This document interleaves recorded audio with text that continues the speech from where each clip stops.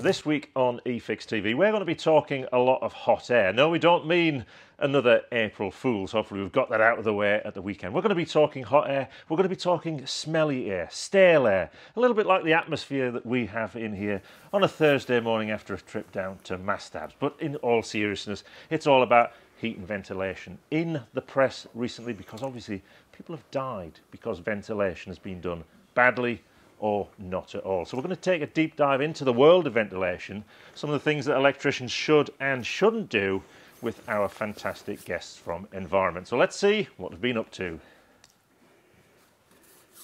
So something stinks, and why do we get ventilation wrong as installers? We'll come back to what stinks about us and little schoolboy antics later on in the show. But thank you ever so much for joining us live on live stream, live on live stream. That's we'll have to go again with that. Live on YouTube, live streaming. Yeah, oh Facebook as well. Our friends on Facebook.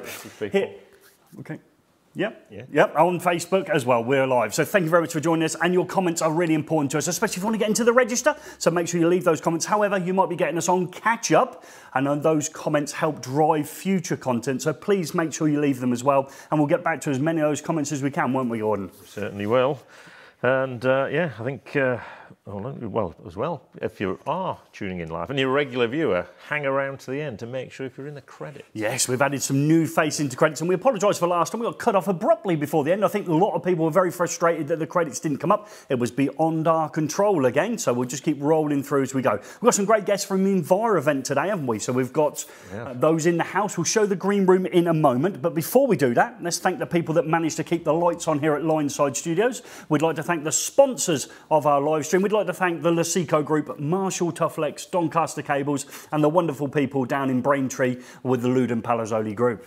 Yeah, and I'd especially like to thank Doncaster Cables this week because they've had a challenging week, Gary. They've had a few, uh, yeah, a few extra phone calls through to their help desk. I think they'd had four by nine o'clock on Monday morning. And what was the scallywag behind that? Well, we'll come into that a little bit. Let's just have a look at our guests in the green room, Rick. We'll just have a little, uh, let's see where they are. Oh, oh there we go. We got, oh, Lightning Larry there on the far right. We've got uh, Dynamite Dave. And in the middle, we've got someone we like to call Alan. Alan, who eats all the biscuits. yeah, yeah, the entire biscuits. Alan, we call him, yeah. So he's got his own nickname name They'll be coming in soon. Yeah, they will. A little preamble out of the way, but yeah, it's been a big week actually, hasn't it? It has been a big week. We started on uh, on Saturday. We started on Saturday this week, didn't we? Yeah. Yeah. yeah. Well, we ended on Saturday. Let's put it that way. Well, we uh, yeah. little apparently there was a, a, video going around that there was a new cable. A new cable? Were yeah. we the first to know about this new cable? That would be interesting if we were. Yeah, but uh, obviously the video was packed full of clues that in fact it was an April Fool. It was an April Fool's, yeah. And so uh, give us an example of a clue. Uh, well, you hammered a back box to the wall with a cable clip. I using did. Ken's hammer. Ken's hammer.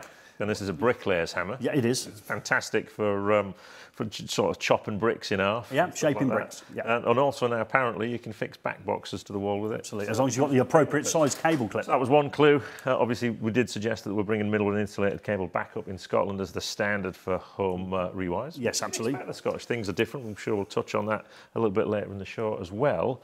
Yeah, but it was packed full of stuff. Yeah, packed full of and stuff. You called think the earth Earthwire? Well, most of my friends that contacted me when I was asleep on uh, Saturday morning, the wonderful Marcus did, uh, and he rang me up and he said, I knew straight away that somebody was afoot because you would never call it the earth Earthwire. And I said, in takes one and two, I couldn't get out of the habit and still called it the Circuit Protective Conductor. Yeah, I did. Yeah, we had a few takes on that one. We did. Couldn't get it out, so we kicked that out of you and managed to get that out. Thank you for everyone who joined in in the comments in that. Obviously, most people did realise it was an April Fool.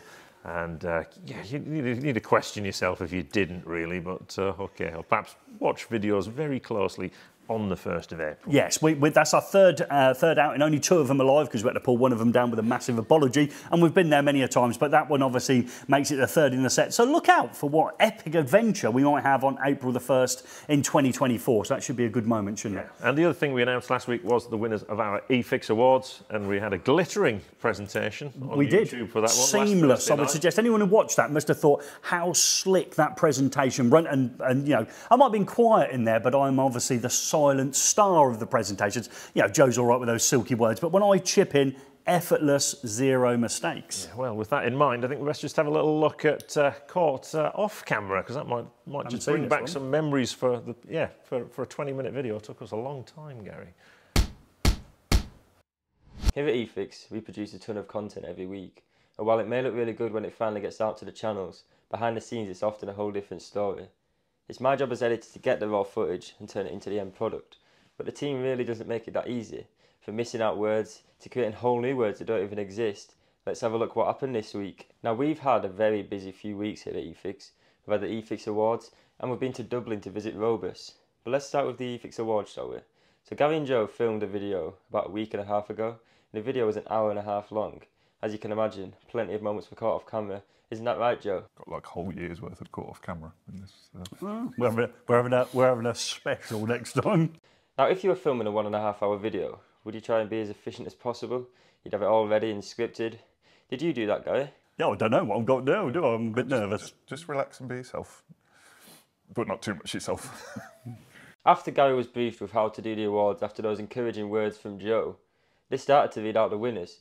Now you'd think that after researching these winners meticulously over the past couple of months, they'd know their names by now. But that wasn't quite the case, was it, Gary? Who's taking the award home tonight, Gary? It's going to be. Oh, I've, got it on, I've got it on there. It's WFP Fire and Security. No, Fire Security and Electrical. Sorry, Fire Security and Electrical. No, no, no, no, no, no, no, no. It's WFP Fire Security and Electrical. Well, you got there in the end, Gary, and that's all that matters. At least Joe's not having any trouble when it comes to reading out the names. Excellent work there from WFP. Sorry. Excellent work there. Oh, no. Excellent work there from WFP. I nearly gave up when I had to edit that, with all the going backwards and forwards constantly. Now, if you watched the awards video, you'll have seen that there was a winner that had a very similar name to eFIXX. And I think this sort of threw Gary and Joe off a bit. Just watch this next clip. It is Epix. Yeah, so epics. Yeah, epics. Epics. Yeah. Epics. Yeah. Epics. Yeah. Chuck another Radley about you. So just before epics? Right after epics. Okay, that's fine. Epics first. Excuse me. It was epics. Epics. epics. Epics. Epics. Oh, right, okay. Sorry, mate. Epics. epics. Epics. Epics. Epics. Epics. Epics. Epics. Yeah. Yeah. You're doing well, mate. Come on. Yeah, we're nearly there. We are nearly there. Five hours later. It was Epics. Is that? Is it my ears? Am I? It's, it still sounds like Epex. Joe's just sitting there like, I can't believe I've got to edit this. Incorrect, Joe. I was actually really looking forward to edit the video because I knew that I'd get clips like this for caught off camera. Now, the other week, me, Gordon, and Joe went to Dublin to visit Robus, and while we were there, we went to visit a local wholesaler. Turns out it was very different from the UK. They had a range of different games you could play, including darts, pool, and even golf. Let's see how Gordon got on when he had a go. I'll have a go. Oh, this will be. Camera never lies. Does anyone do any work over here? Is it so? No. Years ago. Look at that, Joe. No, no, no, no, you're on camera now. You can't do that. So, if, if, if you want, we can start off with a game of pool to see if you're better at pool than you are at darts. I don't think Gordon could make it as a professional sportsman, even though he did get three hole-in-ones. Now, you may have watched our April Fool's video last week. Did you know it was an April Fool's before the end? Let me know in the comments. But you might be wondering where we got the cable from. And that's right, we did get it from Dublin, from the same wholesaler that you saw in that last clip. Let's have a look at Gordon picking it up. I need to get a couple of offcuts of this because this is me, uh, me, me April Fool for our UK viewers. Fantastic work there from Joe. I think we both took a, a little bit of a, yeah, a tanning on that one. Probably rightly deserved after what we did on Saturday, I would say. Yeah, no, no, no, it was good fun. And anyone who'd been watching on social media might have known I was in Ireland and obviously would have known it was Irish cable. They've got that uh, cable in Ireland that we said that they were having out. What are the chances? What are the chances when you're there? Well, we're going to bring our guests in next. We're going to see Lightning Larry and Dynamite Dave, and that links in lovely to when we see him on the race hall, which won't be long. But let's bring them in so we can have this conversation around the world of ventilation. You stay there, Alan. You're doing nothing this evening. Come on in, boys.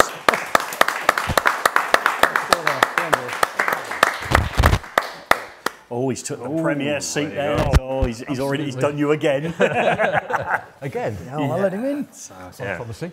So we've got our guests, uh, Larry Soper and David Nichols. Indeed. Yeah. So, right, I guess we always like to start off. Obviously, we get a bit of background about the guests. So, I guess we'll go with uh, who's the non-dart player tonight? No, we'll go with David. You've got 60 seconds to tell us uh, a little bit about your background and what you're up to. And, you, and as you're a salesperson, it's only 60 seconds. Yeah. Only 60 seconds, right, okay. So, um, Dave Nichols, I've been uh, with Envirovent for nearly seven years, um, but my history in ventilation goes back to the mid 90s.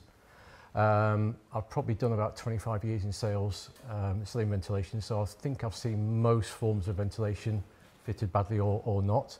Um, my current role is heavily into the specification marketplace, which is more of some of the systems that we'll talk about during the uh, you know in, in, in the next evening. Um, I've worked through various uh, stages, but my, my the bit I like the most is going on to sites and talking to contractors and making sure that things are fitted correctly. Um, that's the bit I get the biggest buzz out of. Okay. We'll find out. And Larry, over yes. to you. Um, I've been in uh, Vivant for nearly 10 years now. Uh, technical services manager, so I head up our um, systems design team, technical support team. I also do a lot of the training that Envirovent do for contractors um, which is a, an ICIC based course. Just get a plug in there for them. Um, but yeah, it's uh, again, like Dave, uh, do some site visits, look at some of the, the uh, poor installs and the issues we get with ventilation as well. Poor installs. That's probably one of the best segues we've ever had there. Lightning Larry. Okay, so we're gonna we're gonna go in, aren't we? We're gonna need a, a little bit of your intro to the next yes, section. well, I we? mean, we always like to find out if our guests yeah, where they sit on the skill level, really. You know, mm. uh, what the electrical background's like. Obviously, ventilation's easy because it's big pipes. Hard to get that wrong, isn't and tie it? wraps. go between two places, tie wraps, yeah, things like double. that. And you've got flexible ducting if you if you do it wrong. Just ram bends. So it's obviously time for our electrician's challenge, and that means you get a chance to join in because you get to guess the time that our guest did it in. Now, to win a prize, and we will catch up on the prizes, we'll get back to the post later. You have to guess who is the fastest. So is it David or is it Larry? And as a tiebreaker, what time did they do them in? So. So for all the banter we've had, yeah, for all the banter we've had, we don't know whether you know, Dynamite Dave or Lightning Larry is going to be first. And it's the old classic, isn't it? We've got the non-dart player over here, okay, and we've got the fully fledged electrical background, electrician, teacher, and all those things that put you in the highest echelons when it comes to the race war. And we've had some fun today with it. We should have our 60 seconds countdown now. Is that correct? Yes, we'll try to get. So let's get the 60 seconds countdown in. Yes, guess the time. So is it Larry in three weeks, 72 hours? Or is it David in seven minutes and 21? Now, we could be hoodwinking you there. As we all do. If it is, you just put Larry three weeks, David three minutes. But, uh, so you were background, you electrician originally? Uh, no, I'm not an electrician, but I'm qualified. Um, No, hang on. So you're qualified as what? yes. You're qualified as what? Yes, I'm qualified. As what, though? I don't do it as a job, as an electrician. There you go. So you're an electrician, aren't you? Yeah. No. yeah. Well, you, well, you sort of did the course, never practiced it? or- Yeah, I never practiced it. Never. Well, I've, I've still done the course recently as well, so Right. keep up to date with all the, All right, if 18th regs course. uh, yeah, 18th, um, inspection and testing, so Yeah. just, Yeah, just sure. a little bit. Yeah, we, we, yeah, inspection and Yeah. testing. it's all good. Well, we don't. Even, we haven't even seen the race. So we're, we're, we're giving no, we flip, haven't seen it. the first time we've seen it. flip and banter, but we're going to see this live as well. So we're going to commentate on your race rules. Hopefully. Okay, that's fine. So just move it up. I'll, I'll do it. So while we're doing that, so wait for the time. You've got to talk to the audience. Remember? Okay. So um, as we're going through. doing that, you get to look at Gary's back. Yes, nothing wrong with that. Agile I was, so we're sorry about the scratching. So we're back on then. So here we go then. So we should be rolling straight in, are we, to the race walls? No, it's no better. No better. Okay, we'll sort that out when the, the race wall's on. Perhaps we can give a spare mic. Okay. Here we go. So we're off and running. I don't know who's first. Is it Lightning Larry? Oh, a non-dart player. Okay. Here we go then. So we're, we're, we're pretty slick, aren't we, in here? I was, uh, was uh, privy to seeing it. I didn't see the times on the board, but I was pretty privy to seeing this. So uh, Silver Fox, I think, jumped to mind when you were doing this one day. So, uh, yeah, slow and steady may win the race, often doesn't. Bit of DIY at home. Yeah, I try to. Yeah, Yeah. yeah. I've been known to dabble a few times. Yeah. You're on electric. Always a dabbler. Oh, we love a dabbler. Yeah, I, I dabble Oh. when, when, when I'm allowed to. Just, Our audience love that. Oh, just, oh, just, do you see that, Larry? Went straight up the conduit first time. Yeah, I, I always have trouble with that. Yeah, yeah, yeah, absolutely. Yeah, we, we noticed it. So, uh, yeah, here we go then. So, into the uh, Lewden consumer units, we've got our A type RCD protection in there. We're fully uh, up to the latest regulations. Got a lot of concentration there on your face, Dave. Just a bit. Up and down as well, helping the old knees. So here we go. So three connections with now consuming it. You like the wire strippers that we gave you from Wago? Yeah, they're pretty good, aren't they? For the uh, for the non-dart player, it's like having a having a helping hand as you leave it from your hand as it hits the board and the flight. Look at that. Yes, looking fantastic. pretty good. Yeah, it, he was. It was good. Yeah, like I said, the silver fox. You, you decided to go with the glasses. Why was that? Because um, I could see them. Yes, yes. Larry, Larry's one of those sort of dart players that changes their darts halfway through the leg. You know, so it, one minute he had the glasses on and was complaining he couldn't see anything. Then he didn't have any glasses on and complained he couldn't see anything. So I wonder which one of your legs is going to come up with the uh, the winning time for you. Probably the one without the glasses. Yeah, we'll see, won't we? So uh, here we go. So fly lid on the back of the box and some connections in a socket outlet and we're done. Okay, so we've got Alan rustling around as well in the background trying to get in. It's amazing how these, but did you know there was a handle on that screwdriver, Dave? Uh, yes. Yeah, did you, did you know? It's, it's at the other end. It's yeah, cheating, that. Yeah, you're right. yeah, absolutely. Yeah. It's amazing how many people do that. Yeah, I know. I think it's a new technique. I think these manufacturers are missing a trick here. Yeah, yeah, very short. Like chopsticks. You tend to hold them near the front end as well. So the, the, the chopstick, we'll call that now. I don't need leverage, do I, when I'm... No, no, apparently not. So, uh, yeah, we're going. So are we working towards a, a, career in the festive season, are we? We seem to be growing the beard out in the hair. Do you think sort of December seasons in a few years? In life, yeah, do you? You yeah, never no, you never know. It's, uh, you could be the first slim Santa okay, that we ever have.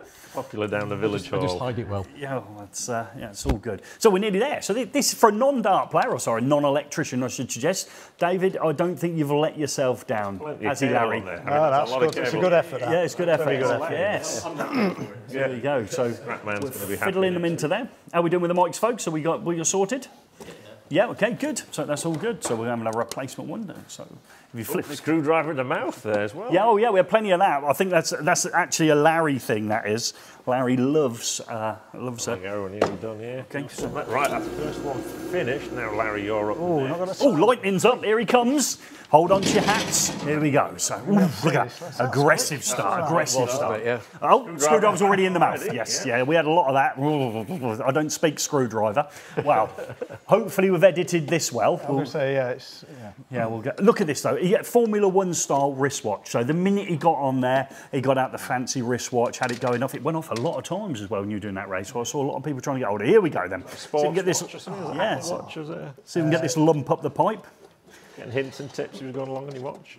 Ooh, non-glasses, you notice. Yes, so we did, had, a, had a whiff of Timmy Mallett, I think, when the first set were on. So I was hoping you were going to be wearing those ones. I left them ones at home. Yeah, okay. We're struggling here.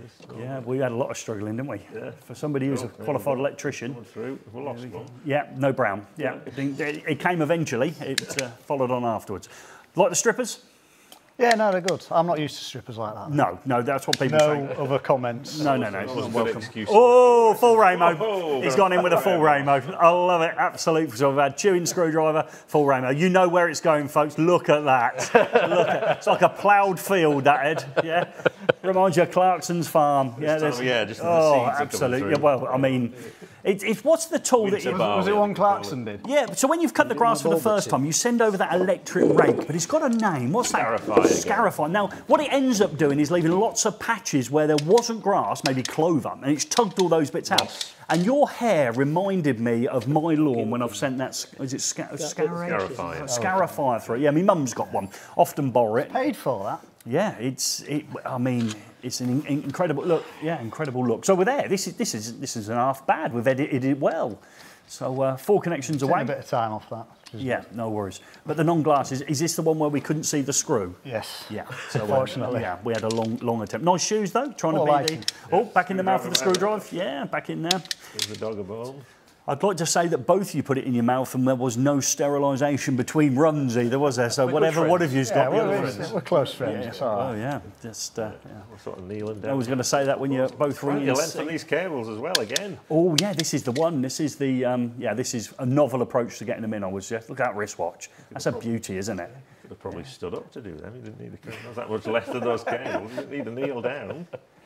There we go. So uh, neutral. Did they all stay in this time? Because we had some issues, didn't we? Some of them were popping Depends out. which one you're showing. it's allegedly your best one. Back in the mouth. There we go. So here we go. What we're going to do with all of these? Curl them up. There we go. Oh, that'll easily. Yeah. That's it. That's it. Oh, oh, hang on. Yeah, we, we did twig. Yeah, yeah. round we go. So. I don't know if that's one of the rules to put the socket on the right way around.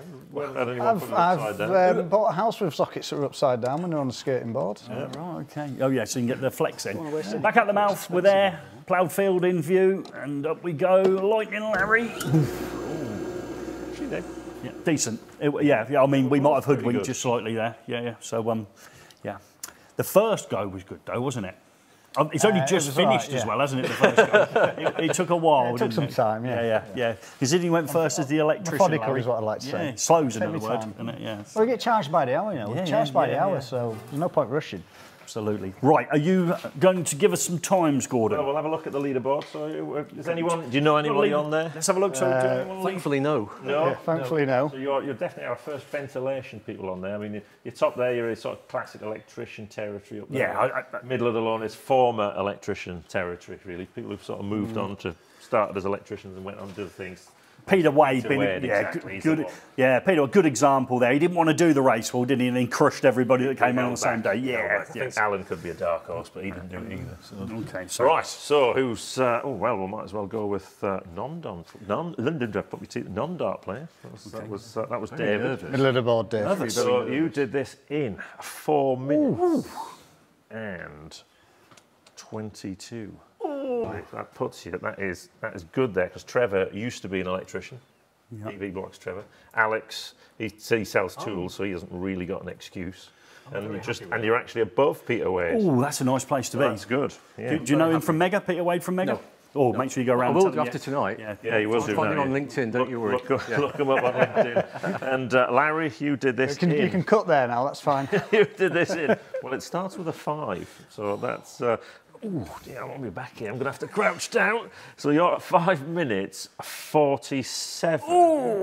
Which actually we're going to have to juggle here. Above Simon Harrison. Paul. Oh, you're one second slower than Paul Elcock. And he has no electoral background, just does books. Yeah, he just does book, works for the used to work for the NIC, so you're sort of nesting in safely, just one second slower than him. Well done, Dave. Thank you. Brilliant. Yeah, really good. I was yeah. quite nervous about that. Well, it shouldn't have been. Shouldn't have been. No, I know it's You can't wait to go back to work, can you? But you can't wait. I bet the old group chats on light now and it'll work. Oh, have you seen, you seen how they got on? P45 weirdly. it's I, right. you know, I was. I thought it'd be a bit of fun. It When was. you get on it, you just want to win, All right, okay. And you did. and I did. It must be a nice place to be. And you, you beat the electrician at work and, and all the rest of it. And, well, didn't just beat him, you comprehensively beat him. That was a good, him. yeah, minute, over a minute in it, yeah. And I, yeah, was it your last run that was best? Can you tell with your glasses? Did we have glasses on on the? Uh, not in the last room. So it was no. the middle room, was the it? middle. Well, yeah, I don't know which one of them was the best, but they were all terrible. They were all terrible. Yeah, they were all terrible. A bit of trouble keeping it, um, you know. Right, so we're going to get into the meat and veg. into the meat and veg now. Ventilation. Uh, I mean, obviously, ventilation. You know, sort of. Who actually does it on building sites? Is it the plumber's job? Is it the builder's job? Is it the electrician? It's normally the electrician. Right. I say normally because sometimes they'll do a bit and then hand the rest of it to the plumber. Yep. As he the duct in, depending on if it's a, just an extract fan or a whole house system. Yep. Um, but normally it's electrician because somebody's got to wire it in. Um, Right. Normally to be su- We suitable. don't use the same principle on boilers, do we? We sort of, you know, the boiler's got an electrical supply and lots of pipes attached to it. But uh, yeah, ventilation for me seems more like, I mean, more like poo pipes, really. If you sort of, So, sorry, sorry, Gordon. I think, it's, the, it's the most un-PG you've ever been. What did you call that word? Poo? We're still back into our Saturday mood, are we? We're trying to be a little bit flippant. yeah, plumbers like to play in the mud, isn't it? People have been known to use soil pipe for Yes. ventilation, which isn't very good, but Yep. it has been known to be used. Right. We'll, we'll, we'll, we'll dig into that. And we've got some howlers that people make, actually. I don't know if Rick, can you just bring my screen in? Gary's got an embarrassing wet patch. You had one of these, Gary. Yeah, so, yeah, classic example, isn't it, of an extra extract fan that makes a lovely noise, hums away. You certainly know it's on if you're in bed and you're waiting for the 15 stroke 20 minutes to pass. A- And actually, and then you find out it isn't working when, I think it was the CPD that we did, or one of the um, uh, Q&A questions that we did for you, where you take a piece of A3 card, is that right? Uh, yeah, A5 card. A5, A5 oh, card, say wrong, eh? A5. don't I? So yeah, A5, A3's massive. A5 card to it, and hold it up there, and it should hold in place. Yeah, mine didn't hold in place in either of my bathroom, so I thought I'd, I'd drop it down a level, give it a bit of a chance. So I dropped it down to one sheet of toilet roll with both layers. Okay, we're not talking mega quilted here. Two We're ply. Just yeah, a couple of ply.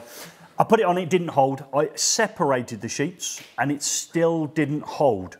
Okay, so I had one wafer thin sheet, you know, your finger would have gone through that, mm-hmm. you know, and some, yeah, and it didn't hold. Okay, so actually, I- spent. It was clean. Yes, it was. But I spent, you know, probably 13 of the 15 years with that on the ceiling. It actually did nothing. And then, of course, I caused myself another problem, which you've gone through with me. I used to open the Velux window in my bathroom, and I've now got a problem with temperature change. Is that right? Yes, yeah, yeah. So obviously with the the Velux window opening, the cold air is going to the ceiling where your Velux window is. Yep. your warm moist air is being attracted to that and condensating up on the uh, the ceiling, which is why you get the water on the, the So, ceiling. so I would have been better off leaving the window shut with a fan that worked. With a fan that's which, which, which I've now got. I've got Yeah. the, uh, is it the 100 or 150? silent 100. I have got the silent Yeah. 100 now. Working well. Yes, it's passed all the tests that I've given it recently. Okay. but that brings me back to I've got another bathroom with no window in it, and I was paranoid about having a shower in there. So we didn't have a shower in there for a long time. And then, post my daughter's accident, we put a shower in there to make it easier for her. And I've been paranoid that that would get mould in it, and it hasn't. Because you've answered the question for me. Because I haven't got a window drawing cold air in. Yeah, there's no cold walls, no cold air being drawn in. The, the walls are nice and warm. Yeah. So the moisture's not being attracted to them. They're not. drawn out by the fan. Unbelievable. Thank you very much for coming, Larry. And sorry I was so That's hard all on the right. No, race that's you. fine. It was brilliant information. So then, just back to the screen there, Rick. So what caused Gary's embarrassing wet patch? There we go there. I'm not saying this was Gary's actual. No, this it is isn't. another example of No, it, isn't it? I'll, I'll let Dave answer this one if you. Well, I would suggest that is some form of water forming inside the, the ductwork, um, probably because you've got uninsulated ductwork.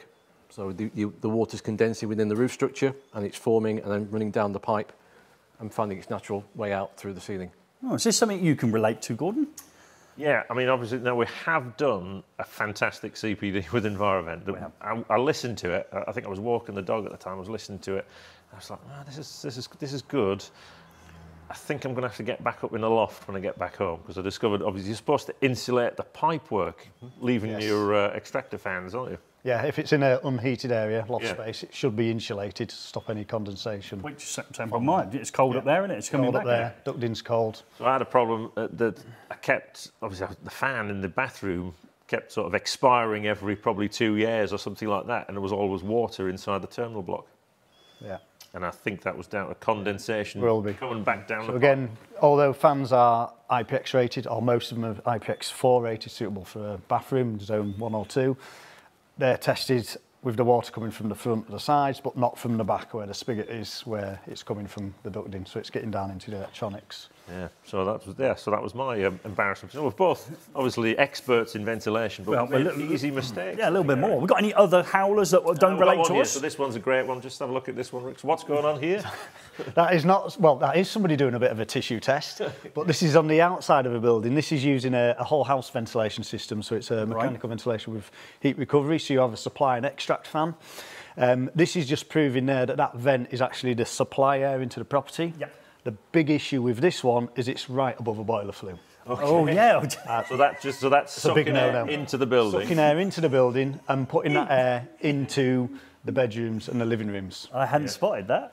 Uh, or as we call it, carbon monoxide. Yes, Yeah. Uh, not very good. That should, when it's above it, it should, depending on the size of the boiler, but we'd always recommend at least two metres above, maybe three. Oh. I think that's sensible advice. But perhaps, perhaps you know, perhaps someone was thinking ahead of the time. We were thinking actually, there's there's hot air in that waste. Yes. I'll recover that heat by putting it through Bring the back building in. back again. Wow. Wow. Yeah. So I mean, that picture there. I don't know if you, but obviously the boiler looks like it came after those other vents. Yes. Yeah. Was that the This is this is really the heating engineer, the plumber should be aware of that, but he may not have realised that that is a supply vent. Because again, if it's an extract vent like the one on the left, they can be a little bit closer because they're always extracting. Uh, but mm, you know, I'll give him the benefit of the doubt. He may not have known, but it should have been checked. Yeah. But also, the supply and extract ones should be between sort of a metre and two metres apart. Yeah, otherwise you're sending hot. You're just dragging it back. So you're in just again. short circuiting the air again. So All right. So lots of mistakes. Yeah, a lot of Good mistakes picture. on that one. Yeah. Yeah. But you were chuffed to find that. Yeah, well, You still live there? Commiserations, uh, commiserations. Some of my to best dead work, family who, who used to live in that property. All died. Always complaining about monoxide. headaches. Yeah, always complaining. Always fell asleep in front of the telly. Yeah. yeah. Wow, that was uh, that's a that's a good. Right, what's going on here? This looks like. Uh, Well, that, believe it or not, is a filter out of a heat recovery system again.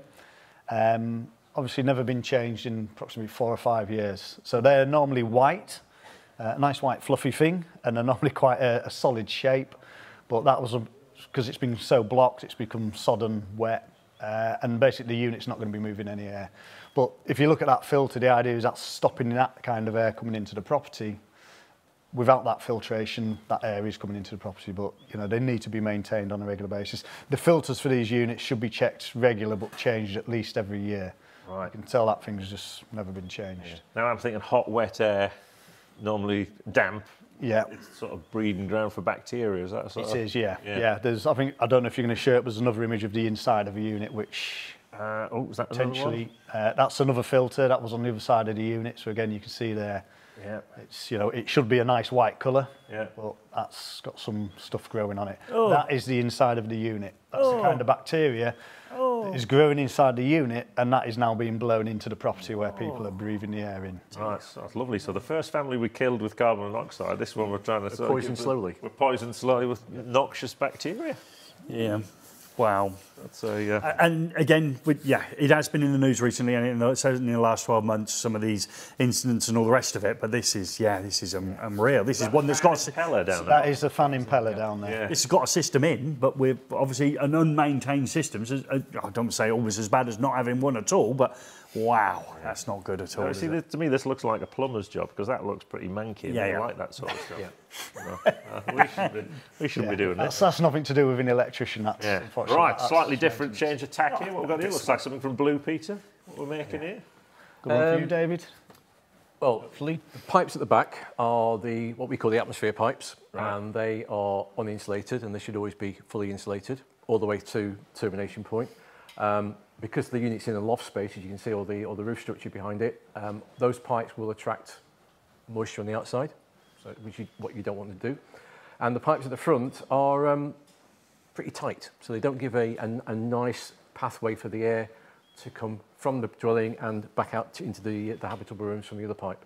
Um, they don't look to be particularly well connected, but the ones at the back, we would always recommend there's some form of um, decoupling with a, a small section of insulated pipe, um, so you haven't got a direct connection to the machine, so you're not transferring um, any vibrations through it. So indirectly, you could be causing a damp issue in your loft by those pi- pipes getting damp on the outside. Because that water will ultimately Oh, trickle right. down, and it will find its way back through the uh, through the insulation in through the plasterboard. So yeah, you start having a brown ceiling without realising it. Oh, right, okay. With everything connected, you go up there and think there, you know, there must be a, a leak somewhere within the unit. it's actually, yeah. Oh, wow. And, and, and uh, we have been back to sites like that before. I've been back to them and wandered around roof spaces, and, and you look at the ductwork and you can't see what's obviously wrong, and then you put your hand down and it's the, the, the quality's just sudden. I- I'm not sure as an electrician that, you know, me, me and Larry as electricians, I'm not sure that if I turned up at that, that I'd have enough knowledge to know that there was a problem with that. You know, and I would I'll, I'll put my hands up to that one. I'd yeah, agree. yeah, because it, it looks fantastic, doesn't it? You know, it's like, oh, I this think is it's great. It's very neat. They're sort of Yeah. doubled over the ends there. They're Yeah, thinking it's just like a table. Absolutely, yeah, I love it. To it. the untrained eye, it's Yeah, I probably, wrong with it. yeah, I probably would be more concerned now, but I'm talking about that uninsulated mm. damp issue. That would be something that maybe not in my wheelhouse. Okay, got another one? Yeah, well, I've got loads in here. Well, what's going on here? This looks quite busy. crikey. It's a bit like spaghetti junction, really, isn't it? Yeah. Uh, for, for ducting. So the first thing is that there's, there doesn't appear to be any um, connections to the machine that are um, you know, secured. Uh, it may be underneath the, uh, the double layer, but it's just a bit of a mess. So is that It's an insulated pipe? It's insulated flexible pipe, Yeah. um, or flexible ducting as, as we call it, but it's not very neat. It's got quite tight bends in it. Um, any bends that you introduce into ductwork just slows the air down, gives it extra resistance, so the machine's got to work harder. Is there rules? Yes, there are rules. Yeah. So, so, so long, so many bends and things like that. Come, give us a rule. I love a rule. Well, t- typically you want the, the, the ducting to be what about 750 mil ish from the uh, machine. off. Yeah, off, off the unit. Yeah. We normally the insulated flex. We normally allow sort of three to 500 mil Yep. before you go on to rigid. Yes. Bends should be a rigid bend, and obviously in a loft space insulated. Um, if you're using flexible ducting as a bend, it should be a sweeping bend. So the radius, the internal radius of that bend, not getting into it too much, should be the size of the ducting. So just a very gentle, uh, gentle bend. So- So say piece of ducting bent round uh, a bit of a hairpin bend Okay. to get to one of the valves. So again, that's a really tight bend, going to cause a lot of issues with the air movement and noise from the unit because the unit's going to have to work harder to achieve the airflows. You need to get out a little bit more, Larry. Nobody saw that. Do some wiring. Right, there we go. There's something we're familiar with. We can see a Oh, fuse. burst. unfortunately. What's, uh, what's the problem here? Um, there's no waterless trap between the unit and the condensate pipe that goes off to um, the soil and waste. Um, so there's a potential there for smells and other things to be drawn back into the machine when they're running. They create a vacuum inside. Right. The waterless trap gets rid of the condensate, which the machines make pretty much 24/7 Yeah. by the process of heat recovery. Um, so what we're trying to do there is make sure that we get the water out without introducing smells back into All the right. machine. So essentially they've connected that directly Pretty to like much the direct. soil pipe. Yeah. And uh, yeah, okay. It's like when your drain runs dry, it's, uh, you get a nice whiff. Nice smells coming through. And then you distribute it to the rest of the house. You'll the also get a ventilation build-up of water inside the unit because the water can't run down there because it's drawing air Sucked up, through it. basically. Right. Lovely. When you don't know, you don't know, do you? No, you wouldn't know that Got either. any more, Gordon? Uh, right, what's going on here? This looks good. So we're So we can see on this one that somebody's used again a lot of flexible ducting, but Yep. they have managed to insulate some of it. But the last leg, obviously, it's not insulated, so we're going to get the condensate issue again. And then the worst thing is they then shoved the end of it obviously into the eaves, and they've had to squash it down to get through the eaves to get to the soffit and the. Uh, I've never done that. it's a common thing. Oh no, I've never done that, Larry. that's No, no, no, no, no, no. Oh no, no, no. Nothing That- to is see that not here. from your house, No, just, just yeah, yeah. Trying to get it in that bit where you just yeah, you because that yeah, I've done that. Yeah. Wow. Nice. This one looks fun. Oh. What we're doing here. Yeah. This is. Oh, go on, I'm David. going to I'm gonna have a guess here that maybe somebody didn't have the core drill with him that day. Yeah. Yeah. Um, so we've just bashed a, a number of holes through uh, the brickwork, blockwork, um, and hope for the best. Um, the, the trick that a lot of people try and do is use a, an, you know, a 9 by 6 terracotta air brick and line them up. Yeah. You just don't have the free area. Right. You need to have at least a 100 mil um, hole through the wall to get the air through and out to atmosphere properly. That's, uh, yeah. Where did we get these photos from? My collection. No, it was mine. Right. Oh, this one looks. Uh, One I did earlier. this one looks good. right. I think that's from This your is- bathroom, Gary. I think that's so you can get the, Yeah, yeah, the yeah. pipe closer to the cause of the So problem. this is that lovely flexible ducting that we like to use, not.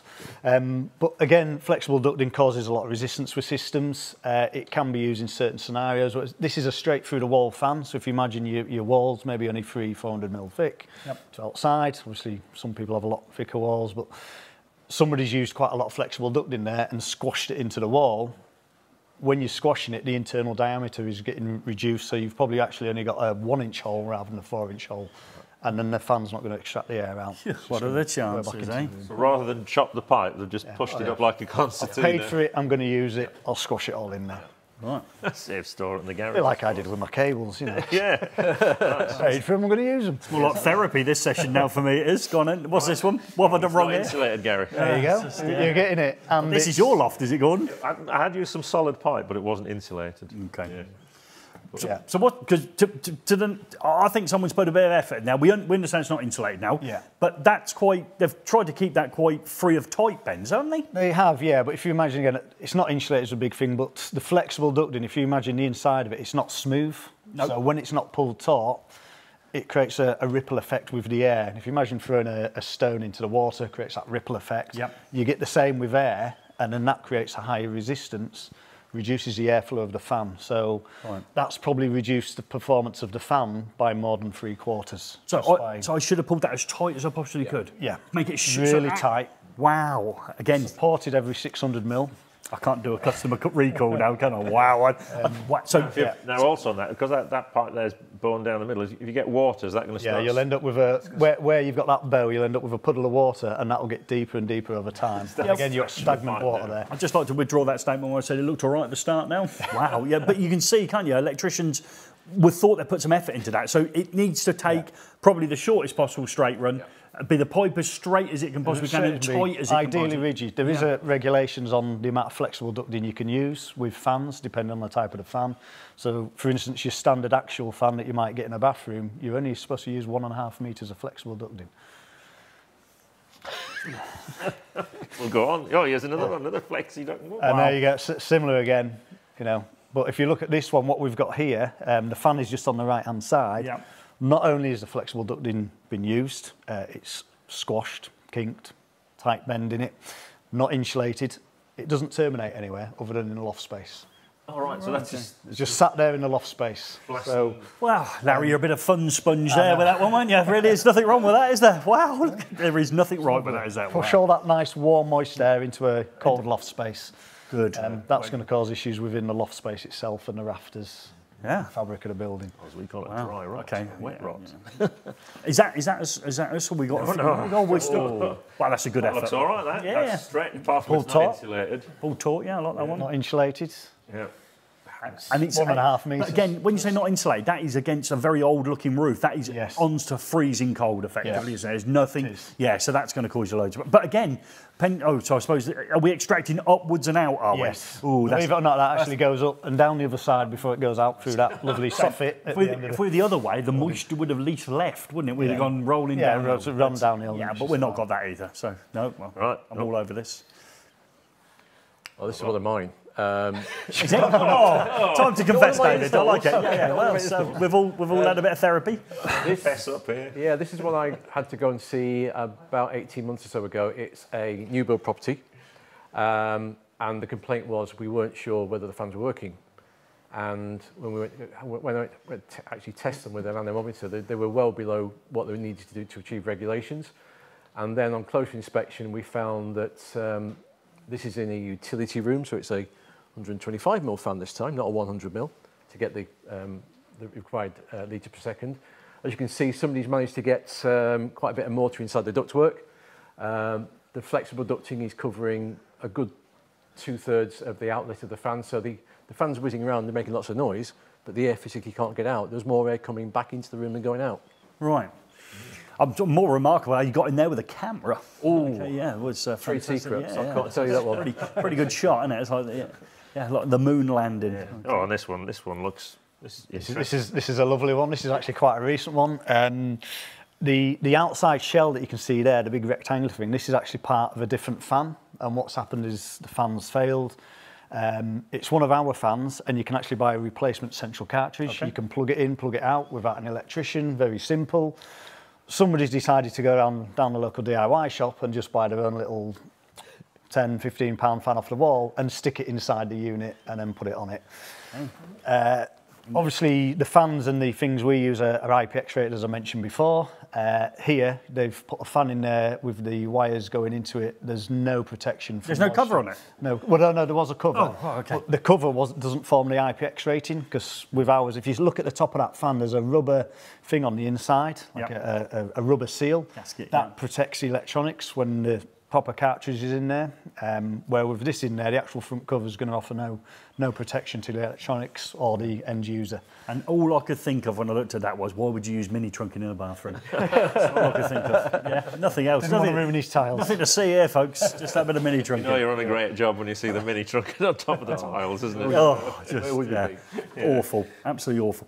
So uh, I think that's it. All right, okay. I've got I've got a question for you then. So something that sort of bothered me back in the day when I was installing extractor systems rather well, rather well. I would suggest I was doing a, an Olympic job of all the mistakes we've just discussed. There is, I go into a bathroom, maybe go into a kitchen area. And obviously, the first thing I do is cut a great big hole in there, and then I've got a radiator in there or some sort of warming device in there. Yeah, I've cut a massive, great big hole in the ceiling, and actually, I'm venting all my hot air out. Explain. Yeah, you are. Yeah. Okay.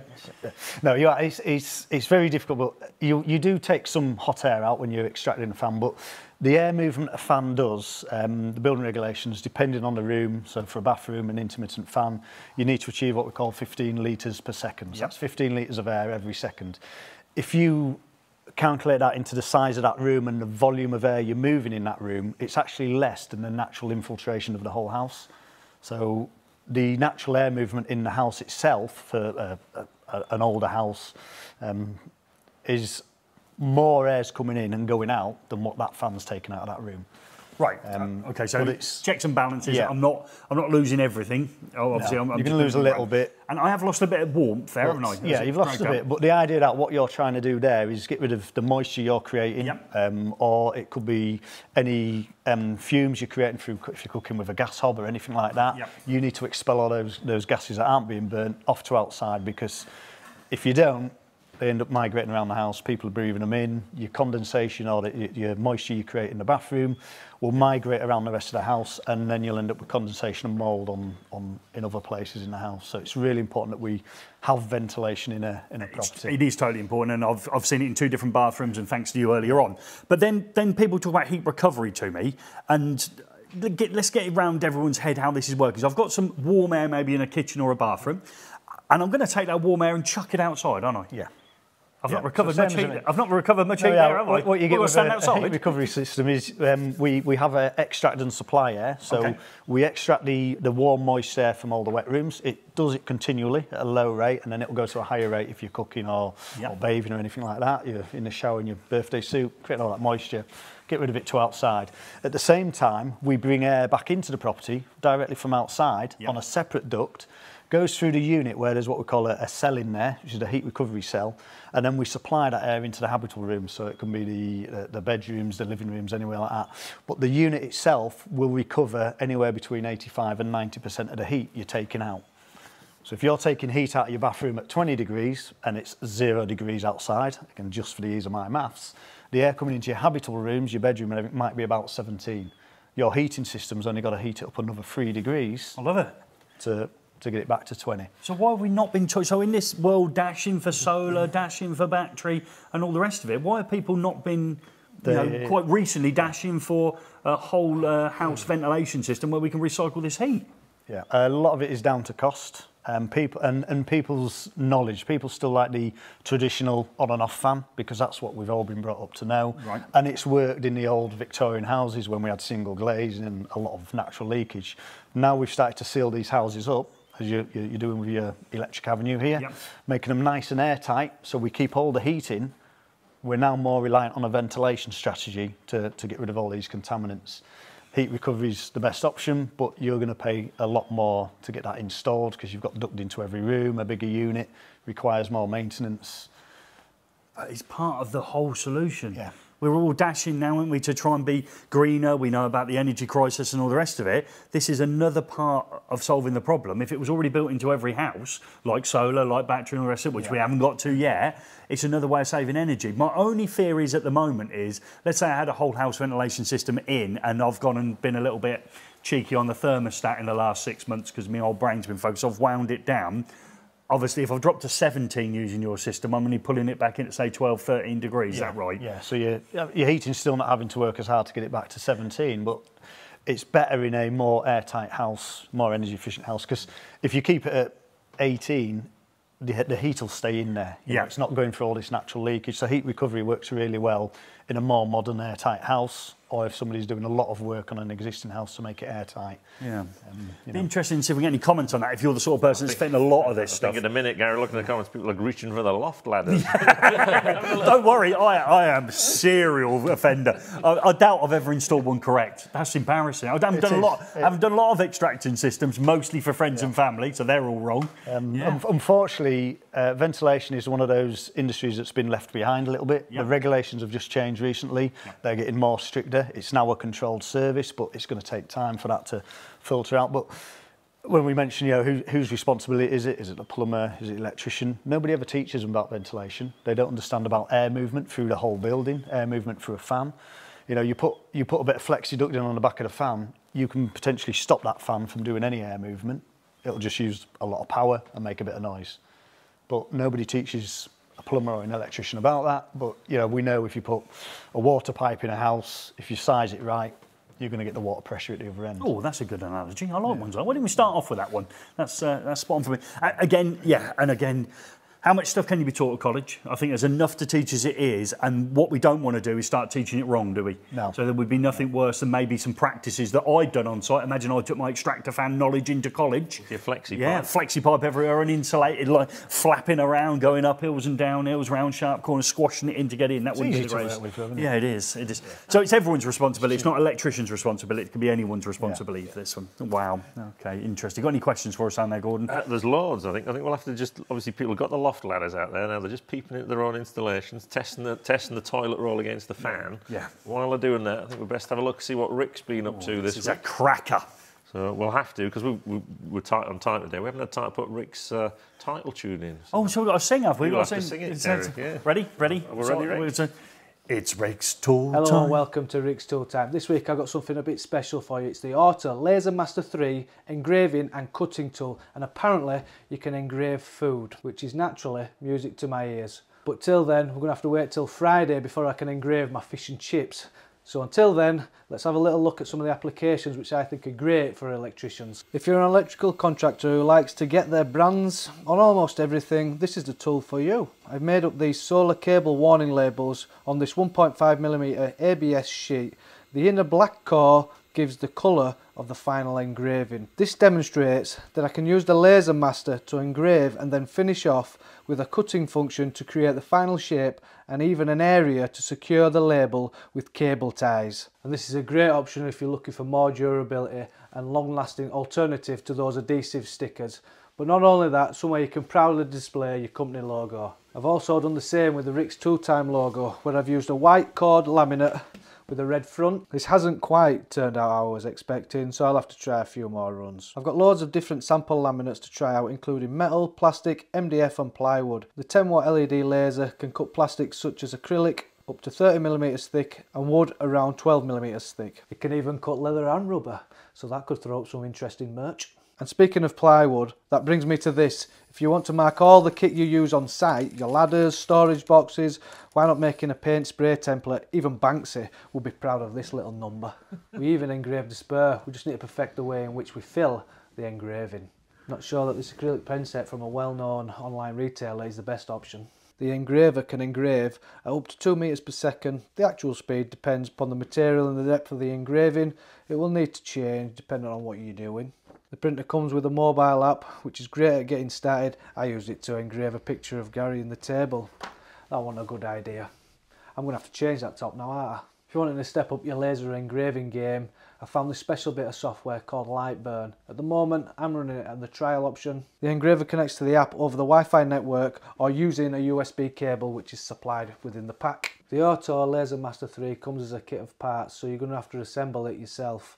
There are plenty of instructions out there on YouTube, so I'm not going to bore you on how to assemble it. But what I will say is it was very straightforward, and I'll leave a link in the description below. One thing you're also going to need to think about is where you're going to sit this laser engraver. At the moment I'm in the process of just building a platform to sit it on and it's giving me the chance to break out the slut.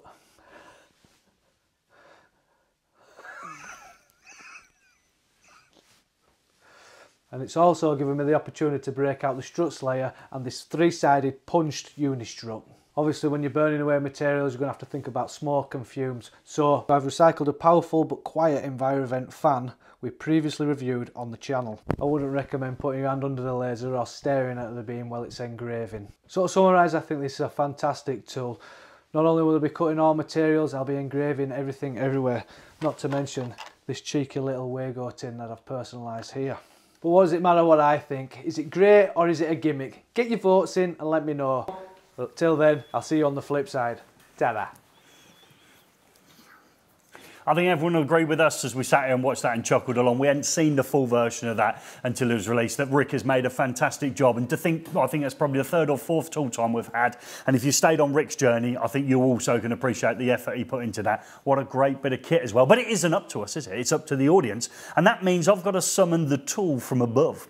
Now, I could ask you, Larry, but you've had a little bit of a tough time today. I would imagine our relationship is beyond fractured now, isn't it? Oh no, we're right. We're, still friends, don't you? worry. And we've got obviously the, the dynamite over there, but we've, we've got somebody in the green room, haven't we? You, We have. who didn't want to do the race or didn't want to be on camera, have we? We've got, uh, as we like to affectionately known, we call him Alan. Okay, let's go and find Alan. Let's go and get Alan. Come on, Alan, you've got to come out with me. Here he is. I've bought a little, because you're the sort of softer-handed type person. I've got a little, a little, little mat for you to kneel on. So kneel down on the mat, young man, and leave your dignity down there. David. While he's kneeling there, Gary, just have a look at uh, Rick's trolley. Just a little- All right, okay, shall we bring it in? So, what, what- yeah, stay down there. So, here we go. So, this is Rick's handiwork. It does look like something off the uh, Ninky Nonk. Okay, as we come in here, is it the Pinky Ponk? Okay, so here we are. We've got, we've got a familiar item there on the side as well, haven't we? Yeah, so the first time we uh, tried it, obviously we filled a workshop full of smoke as we burned through my clipboard. so, everyone notices there, there's the uh, there's the, the remnants of my clipboard I came into. Um, and obviously filled it with smoke, so we thought we'd need some ventilation. So we had this from a couple of years ago, actually. Yeah, we did. And we've used flexi pipes, obviously. Uh, Yeah, yeah, we kept it really taut as well, didn't we? Went out in a straight line, so uh, no changes in temperature. Fantastic. So yeah, it's it's uh, yeah, it's, it's the typical thing. I think there's more money in the stand than there was in the laser engraver, wasn't there? Yeah, there? there is. Yeah, but we'll put it to that. The fan on the side. Yeah. So anyway, but it's. Uh, mm. So that's it. There's our uh, new trolley. Okay, let's move it out of the way because uh, we've left uh, young Alan on his knees for long enough. okay, Alan. So, so just That's all right. just try and just try and see what's left of your dignity as we come and uh, we need to summon the tool from above. Wow, hang on. So, well, don't even go there. You're having an absolute laugh, and you. Wow. Okay, so let's. I'll, I'll practice with it. Tool. Tool. Wow. Happy with that? Well, Not a singer, I'm afraid. Well, no, no, no, no. Okay, then let's try them. Not doing it well. hell. two, two, see, see, two, two, two, two, two, two, two. There we go. Well done, Alan. eh? Well done, Alan. Thank you very much. Now go and sit in the green room. Oh, So what have we got in here then? good. You get to uh, pull out the car. We couldn't fit the whole printer in the bag. Crikey. All right, so that's what we've got there. So you've, you've been between it. So the audience seem to be split here. Okay. Is it is it sort of great or gimmick? It looks to be halfway down the middle. Personally, I think it's great actually because we've uh, had more fun uh, playing with that over the last couple of weeks. And uh, we're particularly looking forward to seeing Rick's leather and rubberware Yes. that he prints on. I think with the rubber you can create your own sort of stamps, you know, so past and things like Okay, that. I think okay. that's the, Yeah, yeah, that's yeah. the idea with that. Right. Okay. he's not wearing it. So, so we're going to need to. Would you like to send that up in a oneer, Larry, for me? Now we've embarrassed. Uh, yeah, in- to do it. yeah, up we go. So try and leave uh, Dynamite Dave's head where it is. there we go. So that's that's what's up then. So Yeah. it's going to go on. So what, what's the David, feeling? you've got to. Well, I mean, I'm sort of. Have we done the timer where people have to get their votes in? No, we, we did, didn't have we, did, we didn't have time for that. Did we? Was at the end of the Oh, video last time? Yeah, so Oh, there we go. So, Oh, well. okay, get your vote. Is it great or is it a gimmick? Uh, and obviously, you'll notice we engraved somebody on Rick's Tool Times little little plaque there, didn't we? We did. Yeah, guy with the white beard. Yes. Yeah, yeah, yeah, yeah. yeah. You've already been immortalised in, in Rick's uh, engraven on there. What can I say? Yeah. Here for posterity. So we'll uh, we'll have a go. Yeah. So people want to think. Let's just see where we're going. Where we're we going with it? So is it great or is it gimmick? Get in, because again, by leaving a comment gets you a chance for the register later on in the show. And if you're a regular commentator, you might find that you've get yourself in the end of the show credit roll. And there is some new names in there as well, so that is good. So what are we going with then, Gordon? I think it's it's still the audience think it's half and half, but it's it's what do you think? Is it a great? If it's great, it goes at that end. If it's gimmick there, if it's middle of the range, you can put it in the middle. I personally quite like it. I think it's great. Yeah, well, I'd agree. put it on the wall. Get, Get it up there, there. dynamite. Oh. So it's going up. So we, we're going to bring this one in. Have we got it in? Okay, so here we go. Out So, yeah, it's up to you. It's up to you. I'd say about about there. Oh, it's not quite a stripper, but it's good. We've had some we've had some choice words tonight. This is going to be an it's going to be an amber warning, I think, from YouTube. What we got there. Even Rick struggled uh, with his strut slayer. So uh, as we went through there, snazzy. And you've got the glasses on Love it. that come with it as well. Absolutely, yeah. Just in case. Yeah, yeah. I, I, di- I didn't wear them for a while, so I've got one good eye left. But um, uh, yeah, we're trying to salvage the one good eye with the glasses. Someone's put that out. And don't stare at the laser beam with the remaining on, eye. yeah, Yes, absolutely. God, And, they are uh, incredible. Would you slide them on and take them off after a minute or two? Right, so that's that's gone on, on the wall then. So we're back into. Are we going to have a little bit more back into ventilation? We've got some We'll questions. put that out as a full review. We've got some more uh, B-roll and stuff. We've got to do it. I think we're going to try and uh, Engrave food. a biscuit. Yeah. Yeah. Well, well, talking of biscuits, Alan, is there any left? Yeah, old Alan the biscuit muncher. That's what he's done today. And when you go back to work, you want to say, I might have been useless on the race wall three times, beyond belief. That's what you want to say, Larry, when you go back to work. Yep. Dave will say how amazing he was. I wanna keep these. Yeah, they're good. When you take them off, they're, good. it's a good feeling when they come I'd off. have my John Lennon Oh, but biscuit muncher in the corner over. That's all he did all day. Yeah. Only here for the free beer. Market manager. Yeah. So uh, all good. So where, where would you like to take us now, then, Gordon? Uh, I mean, we're back in with some questions. So the first one is from uh, from Eddie Clements. Now at the looks, uh, the uh, Eddie Clements. who- That sounds familiar. That sounds like the sort of eFIXX person of the Eddie year-ish. Fitch person, yeah. So we all love Eddie. Yeah. Uh, and you haven't rang him back, have you? No. He, No. he rang today, and Gary. I'll ring him back later, and he hasn't done. So I'll just uh, just remind you there, Gary. Uh, but uh, meanwhile, back to Eddie's question. So he's worried. Why can't you use soil pipe for ventilation? What's the problem with soil Um, pipe? it's soil pipe. The internal diameter is slightly less than a ventilation pipe because the the wall is thicker. Right. But it's also generally got ripples on the inside, and when it connects together, it also causes another ripple. So a tiny little ripple with inside a pipe. If you imagine the air hits it, goes over, and again it gives you that ripple effect, and you're actually squashing the air movement in it, so it's more resistive. Right. Um, and also soil pipe itself is generally a different size to the spigots on the heat um, ventilation units. Right. And it, is it a thicker wall as well? It's a thicker wall as well. Right. So, So, like a, a bump in a pipe is like a speed bump for a car. it is, it? yeah. You Sort of, um, but if you imagine that as it goes over that, it creates that ripple which pushes all the air to the top. And but you've got that at both ends, so it's squashing the air into the middle, so you're reducing the actual air movement going through. And if you've got a couple of them through your pipe work, Compared to a flexi. uh, uh, um, Well, Compared to a flexi. compared to a flexi, it's better. But yes, Keep going, Eddie. That's what I say. God, they're so, yeah, incredible. so bits someone of else going into the uh, into the loft to remove Yeah, the just. I mean, yeah, just, yeah. Yeah, the amount of better soil pipe than flexible. I'll, I'll, Okay. I'll have that one. Yeah, we'll go with that one. Yeah, 'cause So I mean, for us, w- w- you know, you're an electrician, you're doing a lot of new build work, and suddenly this whole house uh, heat recovery is going to start coming in more and more. Yes. Uh, obviously, I think I know the answer. Where do you go to get trained, actually, if you, if you want to learn how to do it properly? Um, there's a lot of places out there, but there's a couple of recognised courses. So there are some official courses. Um, one of them you can be certified um, and join a competent person scheme, which is the way the whole industry is pushing everybody. wow. Um, which is the NICEIC. They have training centres all over. Envirovent are an approved uh, assessment centre for the NIC training. It's a two-day course. Um, Is that up here? Because that's in Harrogate. So yes. we can send Rick on that? Yes. Oh. Rick's on. Rick's, to Rick, another course for Rick. Oh, Yeah. ventilation, you're in, mate. Well, yeah, it's a two-day course. There is um, nearly five hours worth of exams, believe it or Ah, unlucky Rick. Um, and you do need to get 100%. But You need to get 100%. you need to get 100%. oh yeah, there's no no pass or fail. He's been in the quiz team twice. He's won both times. 100%. He's 100%, man. Yeah, 100%. That's all right then.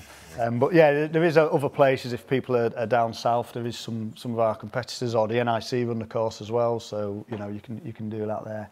Um, it is a lot of information to take in in two days. You're not going to learn everything, but it gives you that standard ground. Grounding. You understand. We have to get all the questions right. basics. There's a lot of information to take. Have We've got to get them all right? Yeah. Okay. So, so let's say I'm going to delve into this. I've got a large project coming up. They're mentioning heat recovery and whole house ventilation.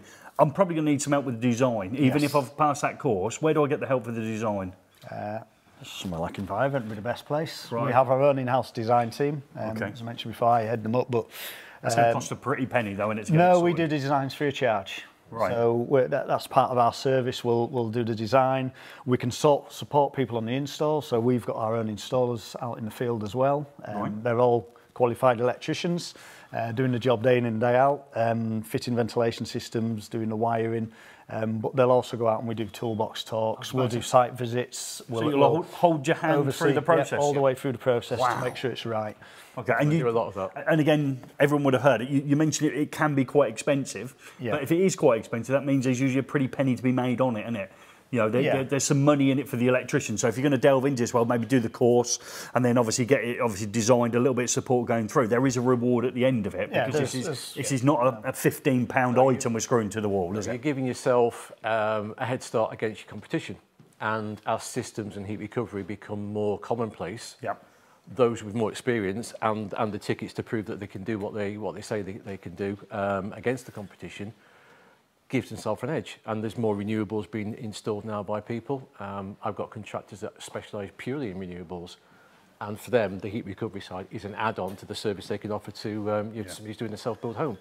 We've been saying this for a while in, in, the, in amongst our chats that we have that if you only offer, let's go domestic, make it nice, you know, your gridiron down lights, socket outlets, but I can do the odd USB one. You're actually you're going to blink and your market's gone because people are going to go. If I'm going to refurbish my house by a new wiring system, I want all the bells and whistles. However much that costs, because I'm going to try and make my house a standalone generator heater in itself.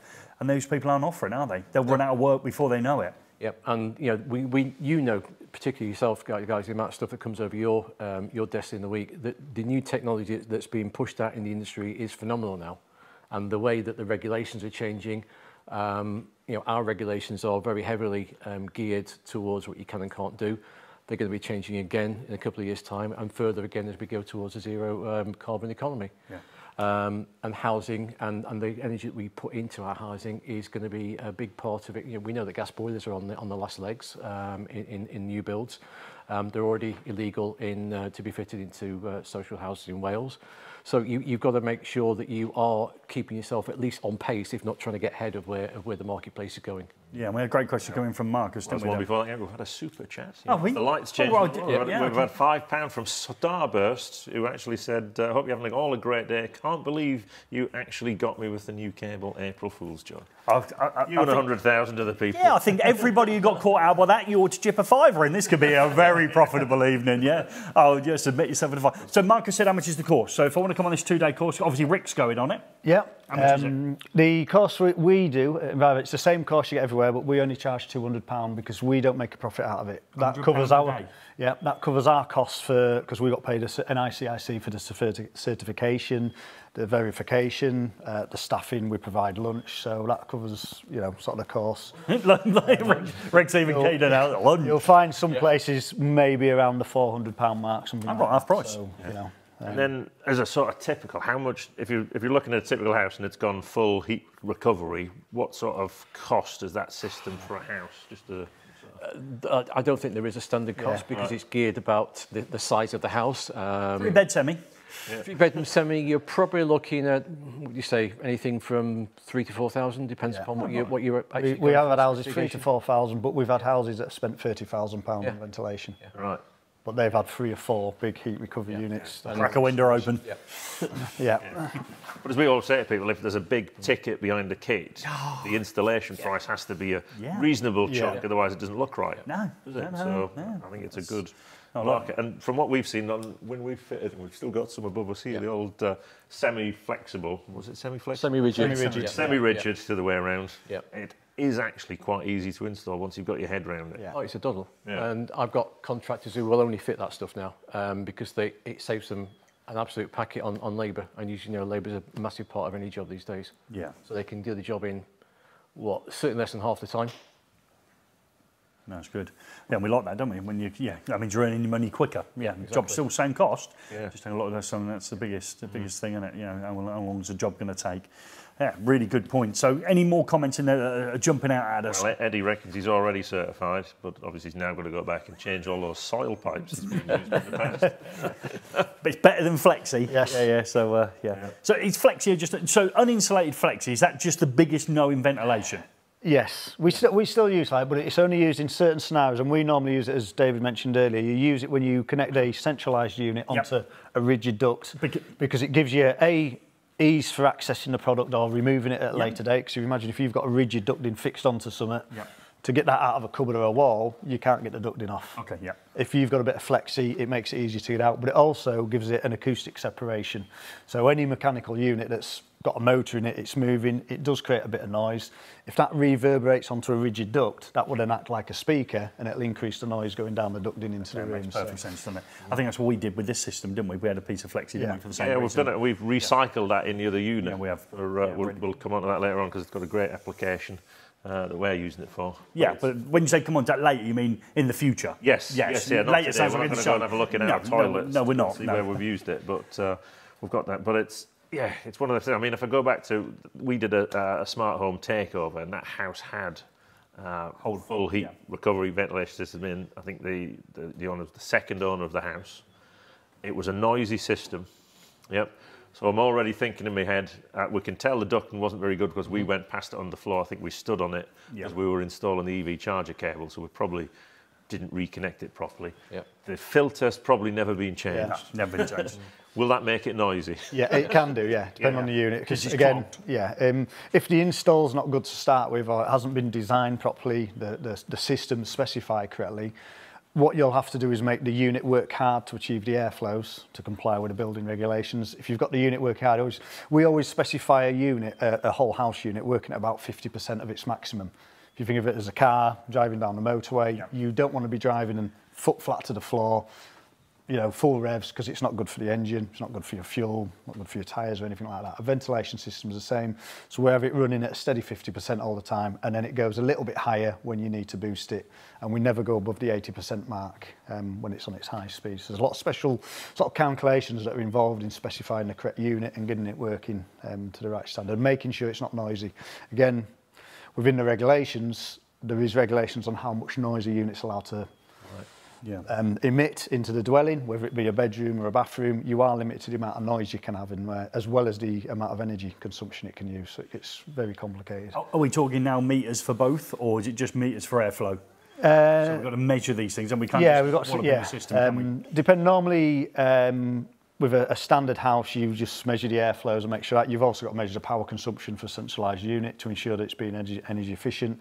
All right, yeah. If you're doing something where you're doing something to a passive house standard, uh, you've then got to measure the noise levels as well because their noise levels are actually a little bit lower than the standard building regulations, and you've got to prove that the unit is below those noise. Levels. Passive house. A lot of people might have just heard because of what's grand designs. Yeah. Your mate. What is a passive? That's my mate, Kevin. Have I gotten that trip out either? what is a passive yeah, house. It's a, a, a German standard, which um, it's a, a really airtight house. So it's actually relying on the heat that you create through your everyday living, cooking, washing, ironing. You might have a ground source or air source heat pump, but they're limited to the amount of power you can use. They're built in a different way um, that a standard house is built. So basically, they don't have a lot of natural leakage. They're very what we call airtight. Um, and they're really reliant on a heat recovery system. You can't have any other kind of ventilation in there because you need that air coming in and you need a balanced supply and Yeah, actually, system. you run out of fresh air. Yeah. Um, Yeah. I always sort of use a, a, a description to try and people understand. If you think if you had a colander with 100 holes in it, Yep. that is an old Victorian house. Fill it with water, the water comes out really quickly. Yeah. Fill 99% of them holes up, you've now got a modern airtight house. Fill it with water, takes a very long time for that water to come out through that one hole. That's now your extract ventilation. It's reliant on all of that water going out. Right. Okay. Yeah. And that's what your ventilation is doing now when you've built an airtight house. Right. It's, it's responsible for all the air movement, which again is why you get a lot of even Victorian houses now. They've not had an issue for 50, 60, 70, 80 years, 100 years. As soon as somebody starts improving the, vent, the um, insulation on it, changing the windows from single glaze, double glaze, triple glazing, wall insulation, they suddenly get an issue with condensation and mould. Yeah. And it's because that little fan on the wall or in line that's not actually moving any air, Yeah. you're more reliant on that doing its job and it's not. So mm. you've got to look at your ventilation then. Again, that's, that's another little gem that hopefully people have got out of this because they're the little nuggets that the everyday electrician can probably have that moment. I remember when Larry said, yeah, that, yeah. now that, oh, you've had all the insulation beefed up and now, yeah, it seems too good to be true, doesn't it? Yeah, just that simple Passive thing. house, David. You said obviously passive house sounds a bit grand designs, Yeah. doesn't it? So immediately Yeah. you're into millions, and uh, obviously it never gets finished, and the glass never turns. We've all watched those ones. Yeah, that's the one. Yeah, but you're saying that's coming in in Scotland, as we'll call it, passive house or. Passive house is quite a good description. when the Yeah, MI yeah. came in at the same time? yeah, probably, not April yeah. Um, because all the nations work slightly differently, um, they, they all use the core part F as, as the base point. But in Scotland, they've, they've gone aspirational and they've decided they're going to go much more um, energy conscious and, and energy efficient uh, houses. Um, similar things are happening on a, on a lower scale in, in Wales. Um, there, are, there are a lot of housing associations now that are going down the passive house route, the, the true passive house route. Um, we see more um, inquiries coming through, more designs coming through from people who are building a one-off passive house. Um, so I would say that it's not, it isn't like it was maybe 10 years ago where it was purely a grand design. Now it is becoming a little bit more mainstream. There's a little bit more um, knowledge and, and acceptance about it. What's happening in regulation terms, we're not going to stop. It's going to happen. And I think the last 12, 18 months, particularly on the energy co uh, costs uh, front, have proved to people that we can't continue like we're doing. So if you're going to build a brand new house yourself, and you maybe, I don't know, spending half a million plus, maybe three quarters of a million to build a brand new house, why would you not want to future-proof it if it's going to be your forever home? Yeah, if I'm a self builder, yeah. Yeah. Mainstream house builders. I mean, I, I pity the people who are buying a house today because you've got a gas boiler that's going to be in a few years. time, Obsolete in a couple of years. A really All I've got out of that is the pay at Envirovent is immense. no, no, no, Half a million, three quarters of a million pound house. Or Maybe the house he's building. yeah, but, it's in sales. That's why I don't work in sales, yeah, see. it's all- all Scotland does tend to be more progressive. It, it has a different set of regulate or an enhanced set of regulations and has done since what about 2010 uh, when, when the, the last big change took place. Um, but that's driven a lot by the, the climate up there. Yeah. So in Scotland they have a, um, a room within the new build called a drying room um, because they can't always dry washing outside because it's, you know, it's cold and wet and, and, and such like. So there's a room that's dedicated for drying of clothes and, and, for, and for clothes in general, uh, wet weather gear. Uh, it's ventilated. Right. And there, there's, and I don't have to go north of the border uh, for, for my work, but there is a different set of regs that when we are getting quite, you know, is it, is it English regs, Scottish regs, um, Scot English and Welsh regs are very, very similar, but the Scottish regs are completely different, and we, we need to know that when we're designing systems for them. Drying room. I like that. Can that. that be the kitchen as well? Was it a... It, no, it's a separate room, isn't it, Larry? Yeah, ours is a the separate room. and banister. That's Yeah. another area. Yes. In, in England, the area which is rather close called banister. All the radiators. I like the banister. But all- Well, it doesn't do duvets. But in Scotland, they've also had air quality monitors in the houses Yes, as well. yeah. As well. Scotland, they've got to have a, an air quality mon- monitor in every um, principal bedroom, every main bedroom. Because we, we did a we did a project up there, and we were all working in this tightly tightly packed loft area, Yeah. changing some lights, and it went off the scale. I mean, it was like you know, Yeah. was- I mean, we hadn't even been out the night before. don't and it, was realise. still, it was still saying there was bad air quality. All four of them on wood burns. it's, it's not just the, the condensation and the mold, it's, it's the VOCs, the CO2s, everything, you know, we're breathing every day. We're Yeah. creating Are we? s- smells, the smells, everything, you know, um, VOCs from candles, plug-in air fresheners, we all love them because they make the house smell nice. It's the stuff that you can't really smell that's not good for you. you know, Well, it's new furniture as well, isn't it? You New moved into furniture, house, and that's that newness smell. Newness, carpets, yeah, it looks, smells lovely, but it's not good for you, so you need to make sure the, the property is ventilated.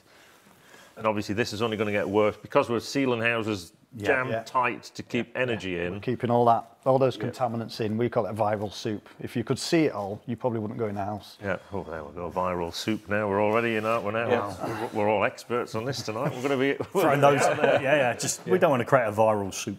You know, you can imagine that there's another ten grand in it. Yeah, two extractor fans. Yeah. Wow. There we go. So, anything else you want to pull out of there? So, thank you for the super chat. We must have had loads more since we've suggested it's five pound for everyone fooled on April Fools. Was a good one though, wasn't it? It was a good one. We've already got plans for next year already, so they're afoot. Yeah. So we'll be off on there. Uh, did you do a course at North Shields? I think. well, North Shields to Harrogate. Surely you can travel that. It's an hour. Yeah, we, unfortunately, the course we have to do it at our, our head office. Yep. 'cause we are through the NICEIC. They come and uh, assess us every year um, as an assessment centre and we've, there's a lot of hoops we've got to jump through and, and um, stuff we, we need to follow. So we can't take the course externally. People have to come to us and, and do it. But yeah. uh, as I say, there, there are Is it quite a practical course? Is it also? Um, no, it's, it's more more theory. There is a bit of practical because you do have a practical test at the end of it where we will go through the commissioning of a whole house heat recovery system. So you actually go with the more complicated system and how to commission it, measure the airflows and set it up. right. What's the pass rate? Because it's 100% to pass. What's yeah, pass it's rate? generally quite good. Um, I always I always say, but most electricians, plumbers, joiners, we can get through the course. We have a lot of architects, consultants, building control come on the course as well because they want to gain a better understanding of the systems. But there's we, we, there's a few people fail, but there's there's not a lot. It's very low. It's, you know. I do food rec as well. Do, do you need any background knowledge? No, No. no, you don't require any background knowledge. was past that one as well. Check. It does help if you have it. We do generally try and send the, the course workbook out two weeks prior, so you do get a bit of reading time beforehand. A lot of it is people will struggle with the terminology. Um, you know, we talk about free area, equivalent area, background ventilation, whole dwelling ventilation, whole dwelling extract ventilation, which sound the same, and it's just Yeah, just. terminology. Terminology. Let's move on quickly. We'll be in. Well, we're going to take a quick break for the register. Oh, register time. Let's see if we've made the register, register. Oh, he's not ready. Oh, uh, he's got the mic. He's nearly there. He's nearly there. Let's see who's in. That time again, time to register. Thank you all for joining. We've got lots of regular viewers on today. So yeah, I'll get straight into it. So we've got Sockets, Sean Dempsey, Dave Noble, early years learning ponies in the room tonight. We've Starburst, H-Spark 1, Intrusive, Wall Bouncer, Chris Osborne Sparky, Pegasus Electrical Control, Finley Hayes, of course, Got Chief Nam, Richard Cockerline, Simon Price, Sean the Spark, Appliance Testing, uh, Matthew Boylan, Ryan Hewitt, Gadgetman, Billy Toy, Terry Moore, Cool DS, Ollie, Matthew Eng, Nicky Sinop, Dan Sparky in Training, PDKH, Leigh Winspear, Short Circuit, Matthew Boylan, and uh, Dennis Electrical, R Soul Trader, Marky D, Hal Nemoy, Danny B, Kevin Osborne, Mon Ahmed, Mark Allison, and East Power Engineering. Well, here makes with the prizes as well. So we had the GT earlier, and David's time was 4 minutes 22, and we've got a serial winner. It is Richard Cockle. Oh. He- He needs to be in, the, in credits, serial winner. So got on there for the form. Yeah. I think you owe him some prizes anyway, Joe.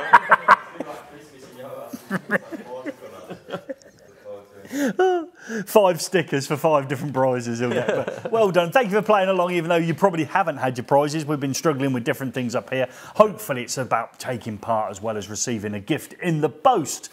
So, um, yeah, that was uh, really good. Serial winner. have your mic on. All right. Oh, dear me, every time now. Sorry, folks, hopefully you heard your name. And you did mention, so can you bring my hand cam in, please, folks? You bring hand cam in, Rick? Imagine you're on the cameras. Hello, Rick. Yeah, so as we look over there, you can see what we can see. There's uh, my wife and my son. So my son's been doing work experience with us this week, and my wife has been putting up with me coming home very late from work and falling asleep in the chair. So nothing's new there. So thank you. Can we take the Jenny camera over out? Yeah, that would, she asked me not. she asked me not to do Jenny. So Jenny's here. So Jenny's on sound. So let's bring up Jenny. So say hello, Jenny. Hello, Jenny. Hello, Jenny. You're right. So Jenny's checking our sound for us while we're here. So she's still with us, folks. We haven't got rid of her yet, or she hasn't got rid of us. I suggest, suggest she's putting on with us, but she doesn't want to be on camera, and that's why we haven't shown her this week. So thank you very much for that, Jenny. Oh dear. Right, it's been good.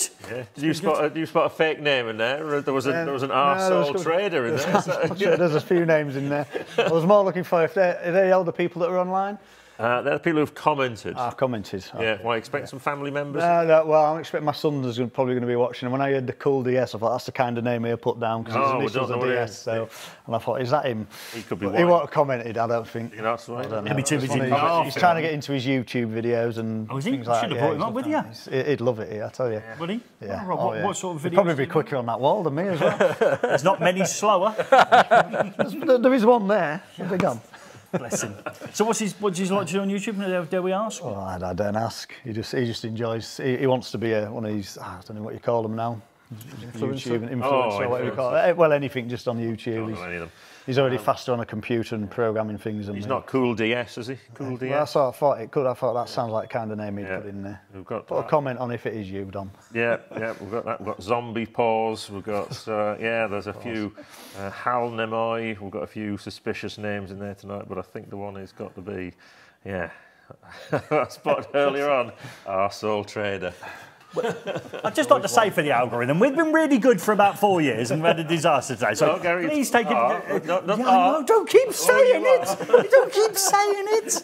Yes, yes, okay. Yeah, Rick slipped. We've slipped again there. Whatever next. Yeah, okay. So Everyone's that's- still telling us on lag, and they're in, uh, they're uh, they're just here in the showers. Gary's an influencer. There you go. yeah, yeah, somebody who knows I hate that word. I think it's Joe. Joe, it's oh right, Joe Robinson. Yeah, Yeah. yeah, He knows I absolutely detest that word. Anyone who sets out to do that is, I, I, I set out to help people learn stuff. What's that? A teacher, isn't it? Yeah. That's what I would suggest that one is.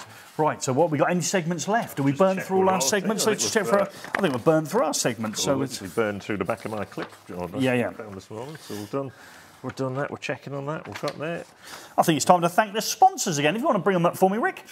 So people that help bring out the live stream every two weeks, we like to thank, and we'll go in reverse order, the wonderful people at Lewden Palazzoli. We'd like to thank uh, Doncaster Cables, who we rang this week on Monday, and by nine o'clock had had for uh, requests for a new cable that was suggested was coming out on Saturday. We'd like to thank the lovely people at Marshall Tufflex. They had a great time when we came up here. I think they set the original bar of what guests should be, and I would suggest these two have almost been carbon copies of Barry and Martin when they came to see us. You're the new Barry and Martin, yeah? Is that a good thing or a bad thing? Well, the, the electrician in those two was Barry, and he was slower than Martin. He'd never seen a screwdriver. A lot of similarities. And the great people at the Luceco Group. We'd like to thank them for their support, so we can bring this to you every two weeks. So thank you very much for those industry supporters. It wasn't thanks to our guests. I mean, it's, uh, we, we've yeah, I think, I think Learn, yeah. As I say, there'll be a lot of people looking under floors and in lofts. There'll be yeah, semi-experts and hopefully be uh, yeah. And, and, and like the level of learning. It's something you can consume because you, you've probably done it. You've probably made the mistakes we've talked about, but you didn't know you were making mistakes. I don't think anyone laid that No, flexi been- nobody's- document. nobody's taught We set out to make a mistake. Yeah, so uh, hopefully moving forward, people will be encouraged maybe to do the course, even though you've put them off with the 100% pass rate. And obviously, yeah, They'll- they'll be to all right. But if I got, if I, if I was fitting some of your stuff and I got a snag, and, and we've got a helpline or something, Yeah, you always. I mean, in Envirovent, we have a technical support team. So if you phone up the the, the main office number, um, the option four for technical support, they will talk you through whether it's anything about regulations. It could be something to do with the ventilation, installation of a product, setting up of a product. Fire regulations for because obviously again ventilation um, has a lot of uh, do I need to be a member to do that? uh, no Do I need to be registered with you to do No. that? Do I, do I just ring you up? You can just ring us up. And we've even had people ring us up and they're not installing our products and we'll try and, we, we won't advise them about somebody else's product, but you know, it's only after the conversation of half an hour of discussing something with them and they say, oh, well, it's not your product. It's, that's it is. We, it's trying to educate the world. It's a bit like confession, is it? Yeah. Sort of fun. about, oh, Good for the soul. Good for the soul. I've used soil pipe. I've used. I've overdone it. I've overdone it this week. I've overdone it on the flexi pipe. Is that you, Eddie? so uh, that's great then. So some some gems there in it. So we've had some nuggets tonight on the information you give us that can take away and in, instantly implement. We've got a help desk that we can ring at any time during normal working During hours. normal working hours, yeah, and not- obviously we've got that course that's half the price of anyone else, as long as we come up to Harrogate in order to do it. And if you do come up to Harrogate in order to do it. Then obviously you can obviously book yourself a visit and come and see us. Yeah. We'd like it post the training, wouldn't we? So we can uh, obviously uh, yeah get a little feel for it. That'd be good, wouldn't it? Yeah, that'd be good if anyone's doing that course. Get in touch. Yeah, please do. Yeah, and on that bombshell, we've just got one last thing to say. In two weeks' time, we have got the people from BASEC here. Now, obviously, on the back of our cable, April Fool, we've got lots to talk about with BASEC. And I would just like to point out the Irish cable I did use, which I've got a little bit there next to you there, Larry, is actually BASEC approved. Okay, I'm sure there's lots of jokes there with the cable approval in Ireland, but yeah, it is a proper BASEC approved cable. Yeah, so we'll, uh, yeah, Does that mean we might be wifting along YY cable and SY We're flex? explore, uh, yeah, BASEC. So I was quite surprised to see a BASEC approval on a cable that you can't use here. Right. Yeah, because it's made to an Irish standard, and there's a big problem using standards that aren't recognised over here. You can use harmonised stuff, but we'll not delve in. And obviously the YY cable, it's, it's a bit like the flexi duct of the electrical industry. Uh, it, it used often, probably in the wrong applications, I would Yeah. say. I would agree with that. And then does that link to maybe uh, EV Ultra and maybe how they managed to get a data cable embedded inside a mains voltage cable, we'll- band one and we'll- band two? We'll, we'll dig into all that. And, It's good. And does that mean we've got Aaron back as means well? we have got Aaron back as well. So we've got, yeah, so yeah. Finished answering his helpline cable that doesn't exist. So thank you very much. We look forward to seeing you back in two weeks. We'd like to thank Dynamite Dave and Lightning Larry for bringing us such a fantastic race and the knowledge that we didn't have before. So thank you very much. I'm going off to climb through lofts to correct all my mistakes. See you in two weeks. Thank you.